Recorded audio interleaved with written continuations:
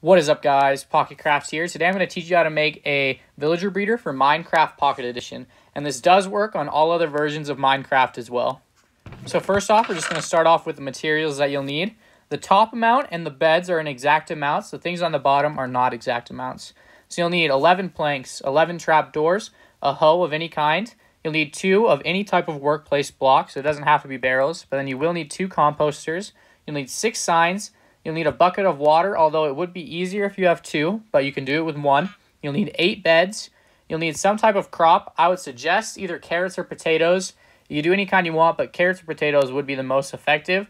Then you don't even need two different types of blocks here. You could theoretically just use dirt for all of it, but I'm using wood and glass as well for cosmetic reasons.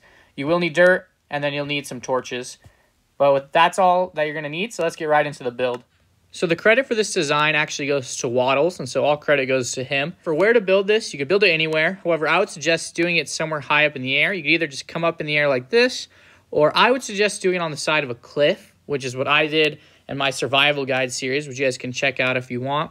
But what you need to start with is one block in the middle, and then you'll go four blocks out in either direction with dirt. So that block in the middle is where the water is going to go, but we'll do that later. Then what you need to do after you have four blocks out in either direction is fill this all in with dirt. So after you've filled in the whole thing with dirt, you'll pick two sides opposite each other and you need to put two things of, I'm doing wood blocks here. It could be any block of your choice. It could even be dirt again. But you need it like this and then you'll need this on the other side as well. After you've done that, you're want to build a wall around it. And so the wall will need to be at least two high. You can do it higher if you want but two is all that's really necessary. And I misclicked right there.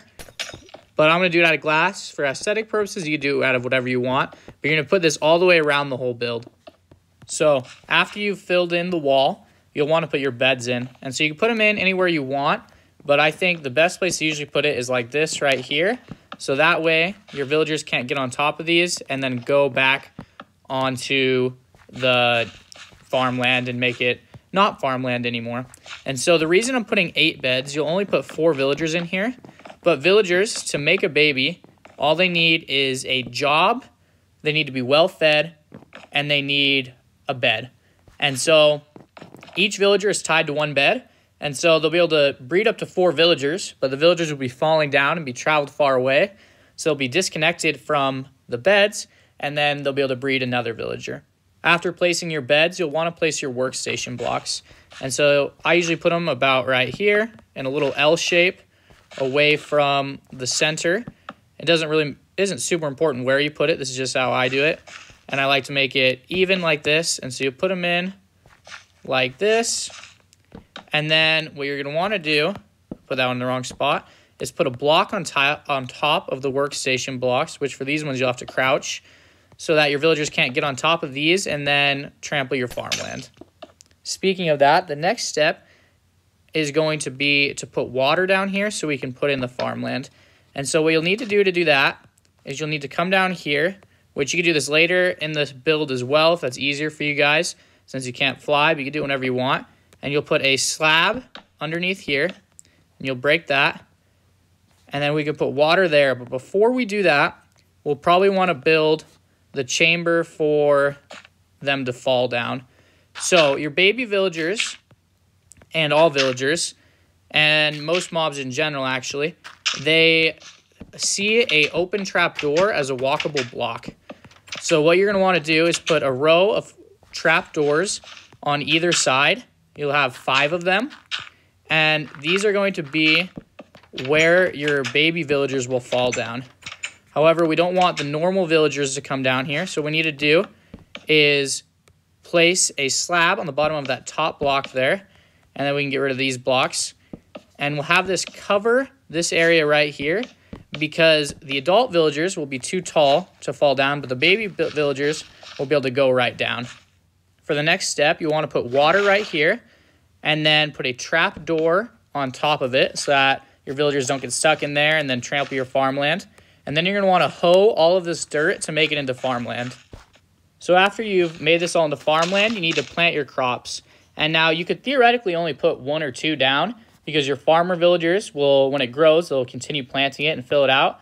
However, it would take much longer for you to actually start getting baby villagers out of here if you do it that way. So I would suggest that you try and fill in the whole thing if you can. Next up, you're going to want to light up the entire inside area here so that no mobs can spawn. Now we need to build the collection chamber. And so if you were building this on top of a mountain, you might actually start with the collection chamber first and then build the other part on top of it. But this way I'm going to start with this first. And so what you're going to want to do is build a U-shape out of glass two blocks down, or I guess you could use any other block. I'm using glass, but you could use any building block again. You'll have it be five by nine on each side. However, so we have five right there, and then we'll go nine over here. However, on this side, you're gonna wanna go four blocks and leave one block in the middle, and then four blocks, one block in the middle, and then you'll do this same pattern on the other side as well. Now you need to fill in the floor. So just fill in all the way through. The same pattern here, pretty much as we did over here.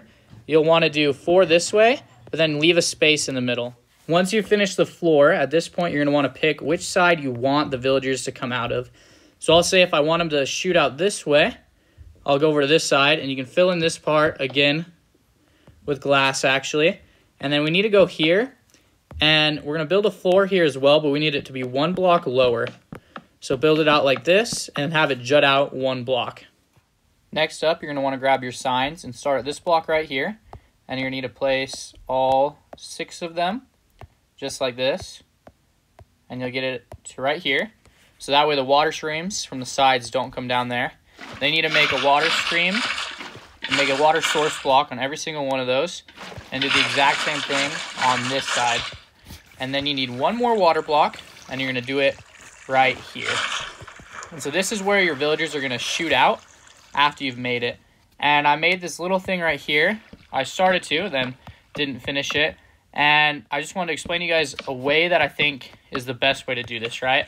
So theoretically, you could have, if you build this on the ground, you'll have to find some way to transport them, right? And this is why I don't suggest building on the ground, because it'd be a lot more difficult to transport them. If you do it in the air like this, or on the side of a cliff, what you could do is every seven blocks, you go seven blocks and then you go one down like this. And then just do seven more blocks. And you'll need side rails like this to keep it from going out, obviously. And you'll need it higher so villagers don't pop out. But you do it like this, and then you can lead to a containment chamber 80 to 100 blocks away.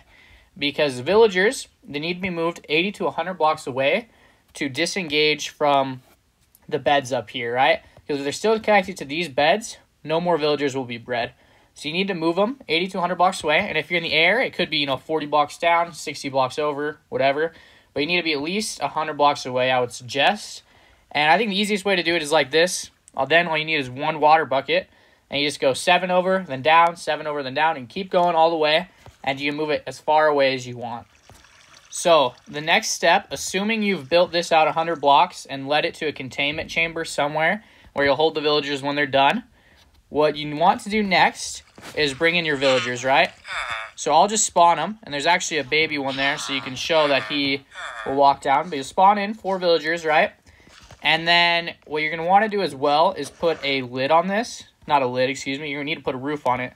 So technically, you don't need a roof if you don't want one, but you'll want a roof, I would suggest, because if lightning comes and hits one of your villagers, which is rare, but it can happen, they'll turn into a witch, and there'll be no way to get them back, and it'll kind of mess up your breeder for a while. So I would suggest putting a roof on the thing. But how do you get villagers in here, especially if it's up on the side of a mountain? It can be a little bit difficult, right?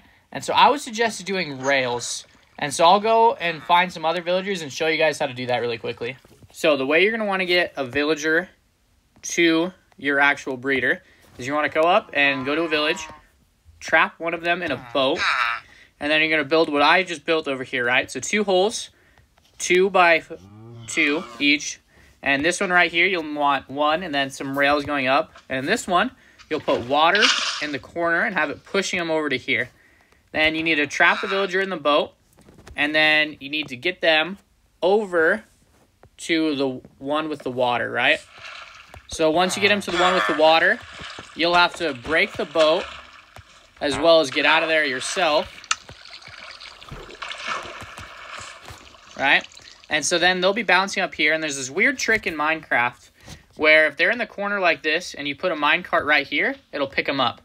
Then you can just nudge it and I forgot I'm flying, my bad. And then you could make this rail go all the way to the villager breeder. But that's it. If you guys have any questions, please comment down below. If you learned something, if this video helped you, please leave a like because it'll help me out and help more people to see this video. I hope you guys enjoyed this, and I hope you have a great rest of your day. Thank you so much for watching. Bye.